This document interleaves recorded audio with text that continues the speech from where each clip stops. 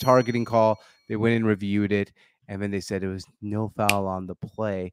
Which, by the way, I agree with. I don't like making a big call like targeting. That's a technicality at the ah. end of a very important game to extend the game. So my question to you, Sami, when is it okay to ignore a call or calls in general in sports? Well, first and foremost, you know I have to mention it is one that it's not targeting. Okay, so I, I I've done some more, you know, visual re- visual research on it and looked it up. if anything, I've uh, I've done more. Uh, what's it called? I've done more searching of pictures of it, and he hit him a little bit, and by a little bit I mean a little bit. He hit him a little bit in the like back almost back neck, didn't touch his helmet. So to me, it's not targeting. That's the first. And remember, like, targeting does not have to touch a helmet. It means you go, you're leading with your helmet. That's what it means. Yeah, but he targeting. didn't either lead with his helmet. The guy bent over, so his helmet happened to hit him. Sort of. He was leading with his shoulders in. And first of all, it's not physically possible to not lead with your helmet if you're tackling. I know that sounds. It actually makes. I know that they have their rules, but like physically possible the way physics work. You can't lean forward for a tackle without your head going forward as well. So it's kind of a weird way to explain the rule.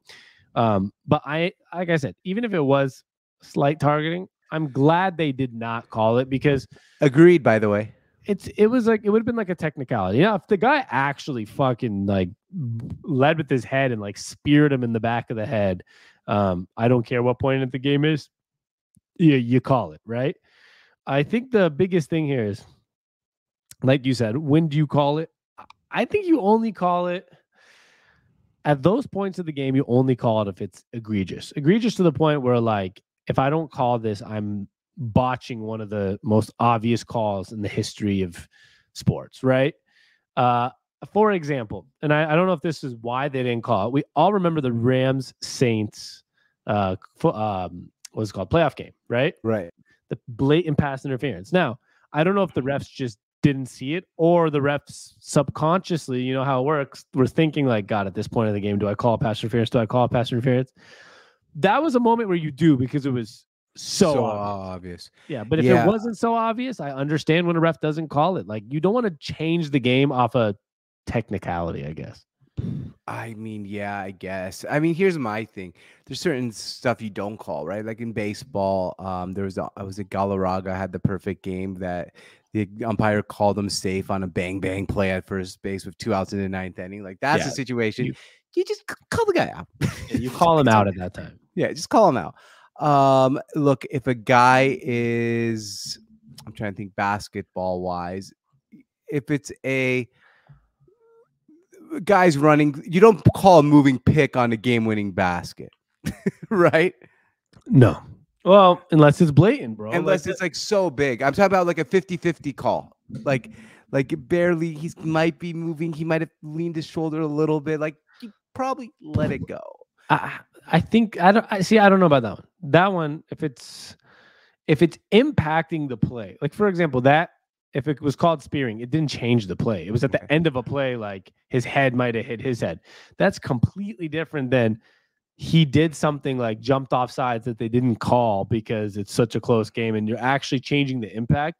That's where I think it gets interesting, right? Like if somebody steps out of bounds, they step out of bounds. If they have a moving screen, they have a moving screen. If it's a pass interference, call pass interference. But a targeting in that type of situation would be like we're talking about a post play. It's it's like 50, it's it'd be call. like it'd be like if you make a stop on defense, you're up one, you're up one, make a stop on defense at the end of a basketball game, and then you like clapped in his face or something. They call a technical foul and tie the game. Correct. Yeah, like you know, like that, those are times you just don't let it. You let people have an egregious celebration, or let somebody do some say something stupid to the ref's face at the end of a game. That's right. Like, right. You're bitching at a ref with one second left in the NBA Finals and you're bitching at the ref while the other team's at the free throw line, they tee you up and then they win the game because they get free free throws. Like that'd be bullshit, right? That's the yeah. point where you say, I'm a ref. I gotta keep myself level headed and not call the whistle. I guess I guess Michigan's been screwed on two t- two times now, right? I mean, they had this one where they got the uh, spearing call, and then they had uh, Chris Webber calls a timeout with no timeouts left and gets a technical foul to lose the national championship. So uh, a lot of technicality. completely different, but sure. No, but but you have to call that right. Like you have to give them the technical for that. Yes, but you just the way you framed that whole thing made no sense because you said two times. It-